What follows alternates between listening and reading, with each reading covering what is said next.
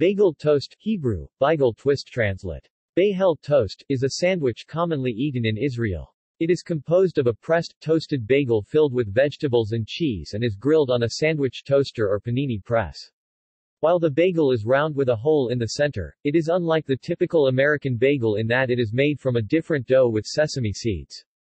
Bagel toast is generally filled with tzfatit, feta, white, or yellow cheese, green olives, corn, tomatoes, onions, dressing, and pizza or chili sauce. Bagel toast is typically found in cafes or coffee houses in Israel and is also served as a casual snack in the home.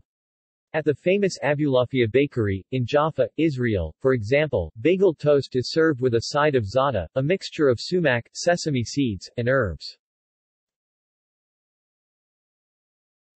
See also. Bagel and cream cheese. List of sandwiches. List of toast dishes. References. External links